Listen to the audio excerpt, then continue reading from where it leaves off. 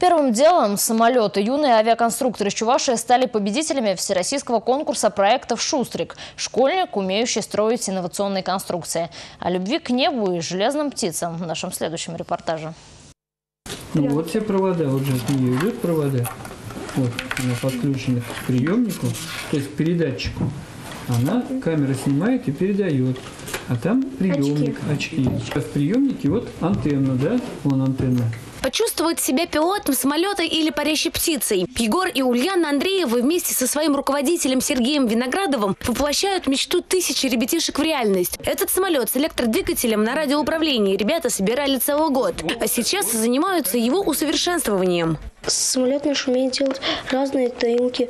Он э, может летать, но кроме этого мы не, не захотели, чтобы он стоял на полке. Самолетики мне нравятся тем, что если сделаешь один, хочется дальше делать, и самолет себя увлекут дальше, дальше и дальше.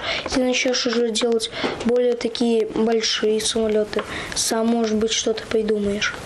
Увлечение Егора и его сестры высоко оценили на всероссийском конкурсе технического мастерства «Шустрик». В направлении авиастроения юным конструкторам не было равных. Всего же в соревновании участвовали более 300 ребят из 40 регионов страны. Такой результат – это показатель упорной работы ребят и высокого мастерства преподавателя. Сергей Виноградов конструирует железные машины уже 45 лет. Это очень увлекательный вид спорта.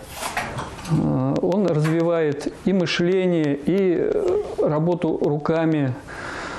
Все развивает. Здесь практически затрагивает все сферы деятельности человека. Занимаемся различными спортивными, в основном классами моделей. Ну, первоклассники, первый, второй, третий класс, они строят самые простейшие модели из картона, зреечек, из пенопласта. Уже постарше становясь, они участвуют в соревнованиях по кордовым моделям, по, ну и самые старшие это радиоуправляемые модели, самые сложные. Егор моделирует технику 5 лет, а Ульяна – его главная помощница. Увлечение детей поддерживает мама.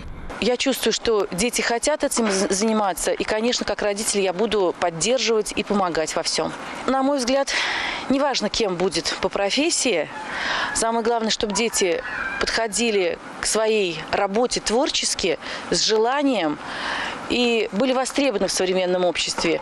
Ребята уже решили связать свое будущее с техническими специальностями. Конструктор, летчик-испытатель, инженер – выбор велик. До определения профессии еще далеко, но школьники уже сейчас стремятся к своей мечте, как самолет в небо. Татьяна Леонтьева, Анастасия Лангина, Олег Якимов, Республика.